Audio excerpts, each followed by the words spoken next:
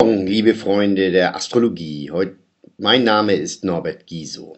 Heute ist Freitag, der 15. April 2016 und heute bespreche ich die Konstellation vom Freitag und auch vom Wochenende.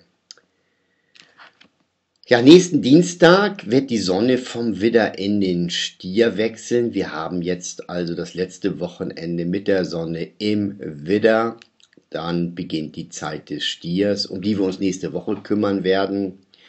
Widder ja ein Feuerzeichen, ein Zeichen des Durchbruchs, des Voranschreitens. Diese Zeit endet nun bald, ist allerdings jetzt auch ohnehin etwas gebremst, dadurch, dass der dem Widder zugehörige Planet Mars sich immer mehr seiner Rückläufigkeit nähert und im Moment gerade stillsteht. Dazu gleich noch mehr. Das Wochenende ist so ein bisschen astrologisch gesehen geteilt. Heute am Freitag und auch morgen am Sonnabend steht der Mond zum Sonne im Widder im Löwen, Sonne und Mond in Feuerzeichen. Eine Konstellation, die es erst wieder im Sommer geben wird, wenn die Sonne in den Löwen wechselt.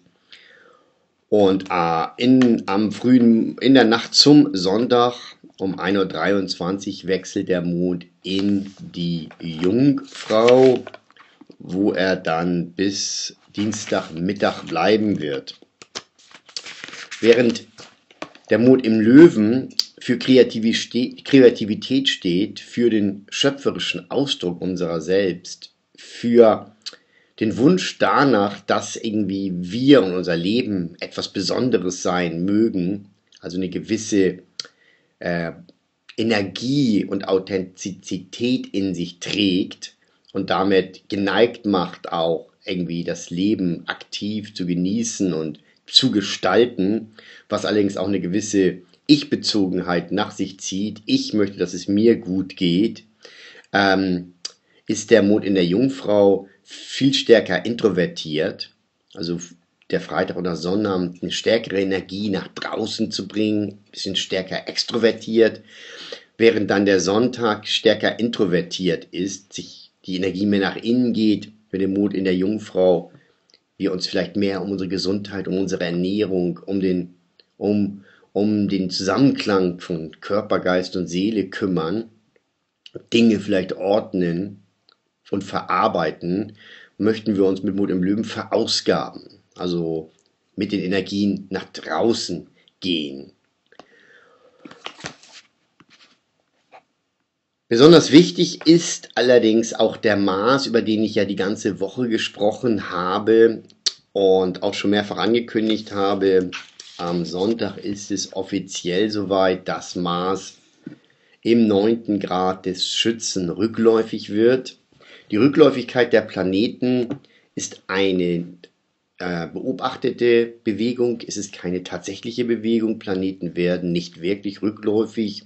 Sie erscheinen nur so, weil die Erde sich als Standpunkt der Beobachtung mitbewegt und so ergeben sich eben diese scheinbar rückwärtsgewandten Bewegungen bestimmter Planeten, die aber in der Astrologie beachtet werden und die meiner Meinung nach auch sehr, sehr bedeutsam sind. Und gerade beim Mars ist das natürlich besonders bedeutsam. Mars wird alle zwei Jahre rückläufig, weil Mars ist in gewisser Weise potenzielle Energie. Wir könnten sagen, er ist ein Auto. Und wenn man jetzt mit dem Auto irgendwie rückwärts fahren muss, geht das zwar eine Zeit lang, aber wenn wir beispielsweise zu unserer Arbeit rückwärts fahren sollten, die ganze Zeit wäre das schon etwas schwierig. Das heißt, Mars ist im Grunde die Energie, ist die Gewalt, ist die Kraft, ist die Potenz, mit der wir Dinge umsetzen. Und wenn diese Energie stillsteht, dann funktionieren die Dinge oftmals nicht so, wie wir uns das im Grunde vorstellen. Wir geraten an Widerstände, wir geraten an Mauern, sei es im Außen oder im Inneren, die uns daran hindern, unsere Aktivität fortzusetzen. Und in der rückläufigen Bewegung des Mars sozusagen geht er wieder zurück.